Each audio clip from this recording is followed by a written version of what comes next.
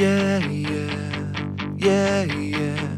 We're going to the future. Yeah, yeah, yeah, yeah. We're going to the future.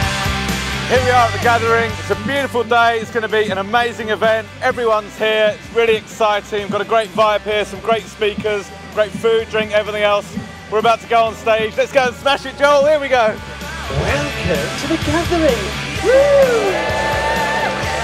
Great opportunity today for us to talk about our past, our present, and our future.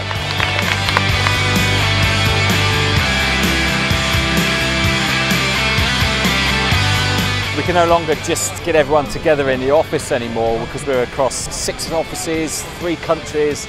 Much better than I ever thought it would be. Uh, uh, it's a fantastic opportunity to get everybody who works Sky Betting Gaming together. The gathering really is free festival. Carousel. Food, culture, beer, The curry, the band, a flying aeroplane. Having a drink with as many people as possible.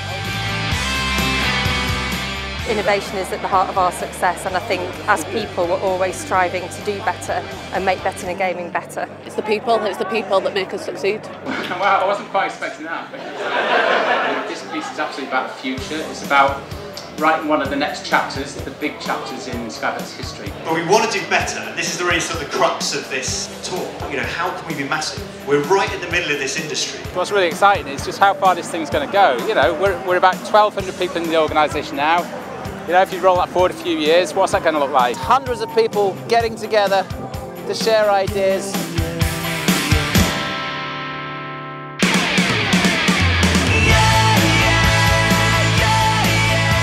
I think the debate at 5.30 where it's bet versus gaming is going to be particularly interesting and good fun.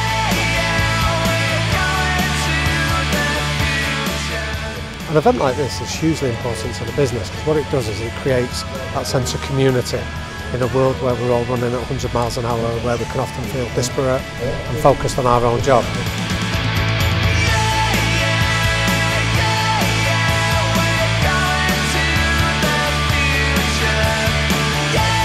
The reality is, the secret sauce is essentially is all you guys, and the quality of people we have, and in particular the culture we've got, and the way we work together.